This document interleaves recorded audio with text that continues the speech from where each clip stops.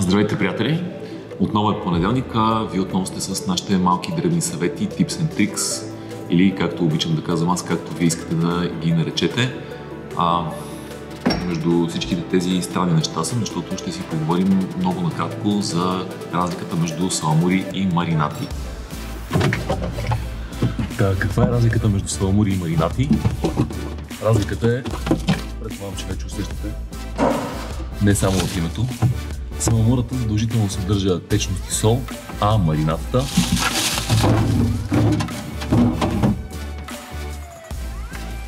а пък маринатата задължително съдържа някакъв вид киселина. Основната идея на саламурата е да направи месото по-сочно. Саламурите обикновено са базирани на течност и сол, затова се наричат и саламури, сал. Оттам идва името. Обикновено слагаме в саламура меса, които са сухи, като например птичите меса, пилешко, поешко, патешко. Понякога слагаме в саламура свинско, много често използваме саламурите и за риба. Освен а, вода, в саламурата и сол, разбира се, в саламурата може да имате и ароматни подправки, които също дават вкус на месата. За разлика от маринатите, които пък задължително трябва да имаме някаква киселина. Киселината помага на месото да стане по-крехко, но не дава такава сочност на, на крайния продукт. Обикновено маринатите действат върху най-горните сантиметър до сантиметър и половина от парчето месо, докато саламурите действат в дълбочина. Много хора смятат, че саламурите работят на базата на осмоза. Всъщност това е не особено вярно. Принципът, който се използва и който, поради който работят саламурите е наречен дифузия. Дифузията а, казва, че водата прониква от зони с по-висока към зони с по-ниска концентрация.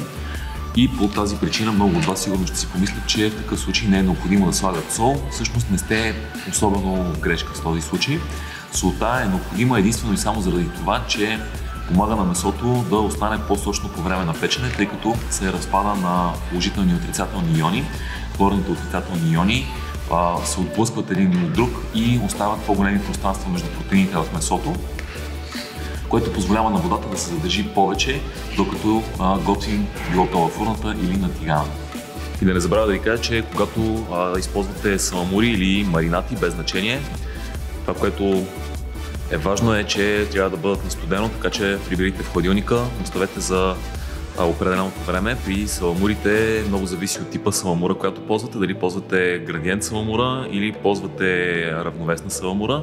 Може да отнеме различно време от 10, 20, 30 минути до 8 часа.